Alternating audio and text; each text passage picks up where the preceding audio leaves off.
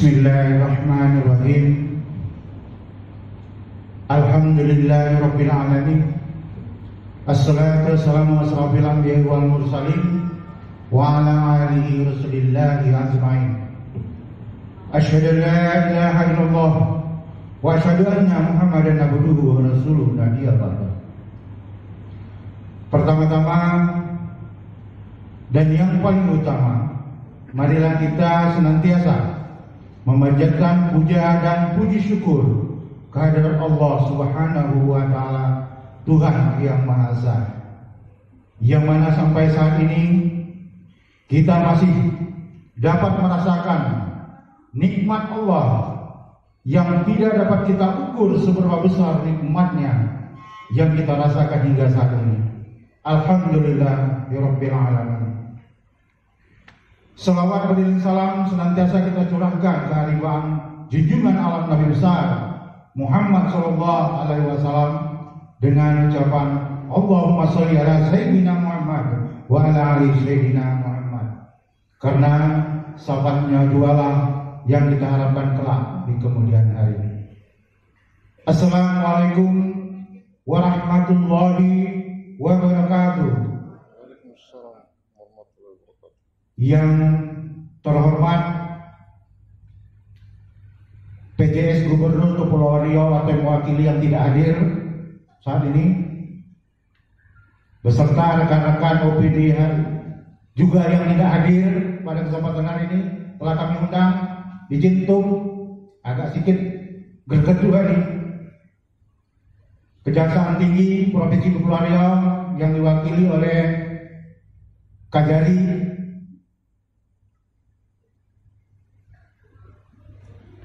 Kemudian Ketua Pengadilan juga kami undang. Mungkin berhalangan lah karena hari libur. Bapak Kapolda diwakili oleh Kapolres.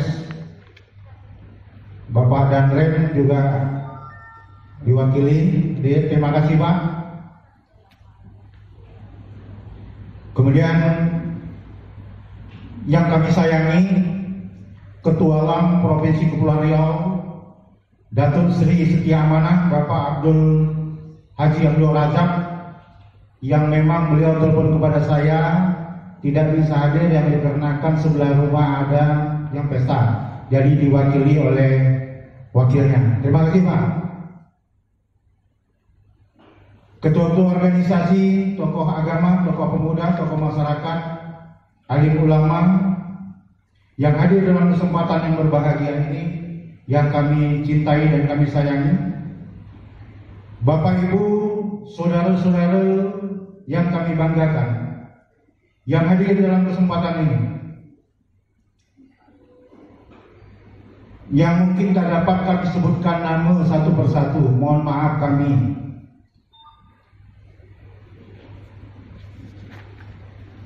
Yang terhormat Bapak Presiden Lembaga Komando Pemberantasan Korupsi beserta rombongan yang sudi kiranya hadir memberikan support kepada kami pimpin lembaga KPK Provinsi Kepri yang baru lahir yang baru muncul. Beliau banyak memberikan pandangan dan support kepada kami demi melaksanakan tugas amanah tugas di Provinsi Kepulauan Riau ini kemudian kami hormati juga Ketua Wilayah Lembaga Komando Pemberantasan Korupsi Provinsi Kepulauan Riau Bapak Kennedy Sombing beserta rekan-rekan unsur pimpinan wilayah Lembaga Komando Pemberantasan Korupsi Provinsi Kepulauan Riau yang baru saja dilantik. Eh, yang akan dilantik belum ya? Maaf. Kemudian rekan-rekan seperjuangan pengurus pimpinan daerah Lembaga Komando Pemberantasan Korupsi Bintang dan Batam. Bapak Ibu para hadirin yang kami muliakan, dalam kesempatan ini izinkanlah kami atas nama pimpinan wilayah, Lembaga Komando Pemberantasan Korupsi Provinsi Kepulauan Riau selaku penyelenggara acara ini mengucapkan terima kasih yang setinggi-tingginya atas kehadiran Bapak Ibu para hadirin sekalian yang hadir memenuhi undangan kami dalam rangka acara pelantikan pimpinan wilayah lembaga KPK Provinsi Kepulauan Riau periode 2019-2023. Kehadiran Bapak Ibu sekalian, kami dapat merasakan aura positif dan rasa kepedulian yang tinggi untuk secara bersama-sama menciptakan negara yang bersih, bebas dari korupsi, kolusi, dan nepotisme menuju negara yang adil dan sejahtera. Bapak Ibu sekalian yang kami banggakan, siogianya acara pelantikan ini dilaksanakan pada September 2019 yang lalu. Namun dikarenakan beberapa hal yang juga kondisi dan keadaan COVID terpaksa kami menundanya hingga hari ini berlangsung. Namun tidak mengurangi semangat kami untuk melaksanakan tugas-tugas lembaga yang menjadi tanggung jawab jabatan yang diamanahkan kepada kami. Dan Alhamdulillah hari ini dapat kami laksanakan dengan izin dan ridha Allah Subhanahu wa taala Tuhan yang Maha Esa. Amin. Ya Rabbal Alamin.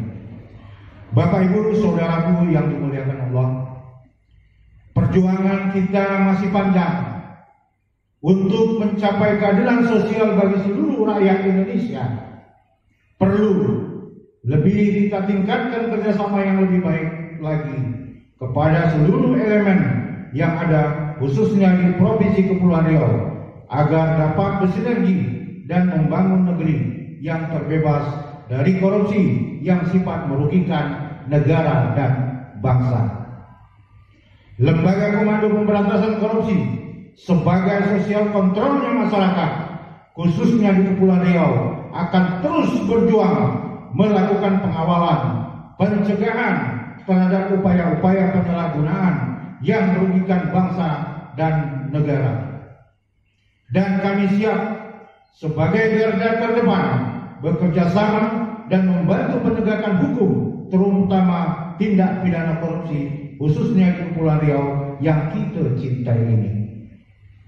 Semoga Provinsi Kepulauan Riau sebagai provinsi termuda ini akan dapat menjadi provinsi percontohan, provinsi yang terbebas dari korupsi, kolusi, dan nepotisme di tahun-tahun mendatang. Amin, amin, ya rabbal alamin. Presiden Lembaga KPK Bapak Advokat Indranas Gau SH MKN CDL CSIL yang kami banggakan Izinkan kami melaporkan secara singkat, Pak Pres, tentang kondisi geografis di Kepulauan Riau. Provinsi Kepulauan Riau terdiri dari lima kabupaten dan dua kota. Kota Tanjung Pinang dan Kabupaten Bintan adalah yang satu daratan. Satu kota dan empat kabupaten lagi terpisah oleh laut dengan waktu tempuh cukup memakan waktu dan juga keterbatasan transportasi. Rentang kendali yang dihadapi, ombak yang tinggi dan angin yang kencang pada musim-musim tertentu. Hal ini yang menjadi kendala bagi kami sedikit terhambat melaksanakan konsolidasi ke seluruh daerah seprovinsi Kepulauan Riau. Perlu kami laporkan bahwa sampai hari ini kami baru dapat membentuk tiga Pimda, yakni Pimda Lembaga KPK Kabupaten Karimun yang saat ini tidak dapat hadir. Berhubung karena itu tadi yang saya sampaikan rentang kendali. Pimda Lembaga Kabupaten Bintan hadir ada di sebelah kiri saya dan Pimda Lembaga KPK Kota Batam hadir di tiga KSB hadir sudah di sana nanti menyatu Mudah-mudahan pada awal tahun 2021 konsolidasi struktural di Provinsi Kepulauan Riau dapat kami laksanakan sebagaimana yang diharapkan. Hanya ini yang dapat kami sampaikan. Lebih dan kurangnya kepada Bapak Ibu kami mohon maaf. Kepada Allah Subhanahu wa taala kami mohon ampun. Bila ada jarum yang patah, janganlah disimpan di dalam peti. Kalaulah ada kata saya yang salah, janganlah disimpan di dalam hati.